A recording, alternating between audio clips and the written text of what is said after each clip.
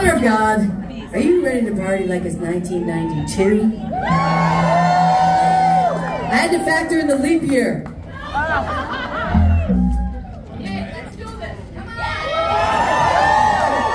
Let's show those Boston guys that think they're all that. Buffalo Tom. How we do it down here in a like real includes city. me. That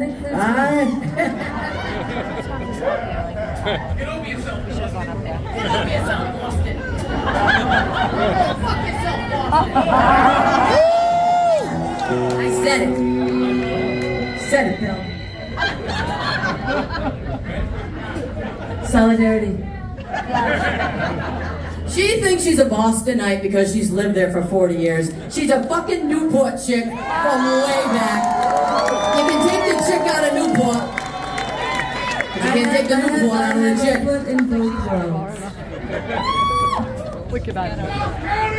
Two things can be true. I'm gonna find out where this woman is from. She's probably from Providence.